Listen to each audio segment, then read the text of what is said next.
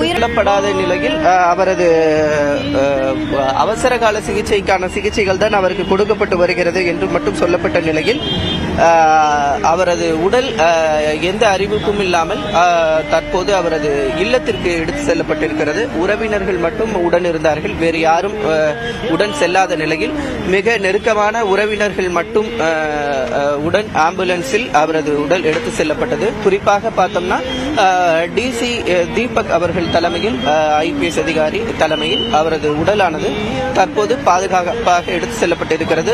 காலையில் ஆறு மணி அளவில் அவரதுக்கு செயற்கை சுவாச கருவி சிகிச்சை கொடுக்கப்படுவதாக சொல்லப்பட்டிருந்த நிலையில் தற்போது சில மணி நேரத்துக்கு முன்பாக அவரது உடலானது தற்போது மருத்துவமனையில் இருந்து எடுத்து செல்லப்பட்டிருக்கிறது. அவரது இறப்பு தொடர்பாக எந்த தகவலும் சொல்லப்படாத இனிமேல் நிறைய அரசாறு பார்க்க போறோம்? இந்த கடவுளுக்கு கருணையே இல்லையா? நல்ல மனுஷனை எப்படி கூட்டிட்டு போச்சு சார்?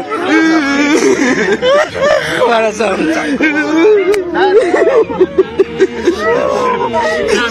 போறேன்.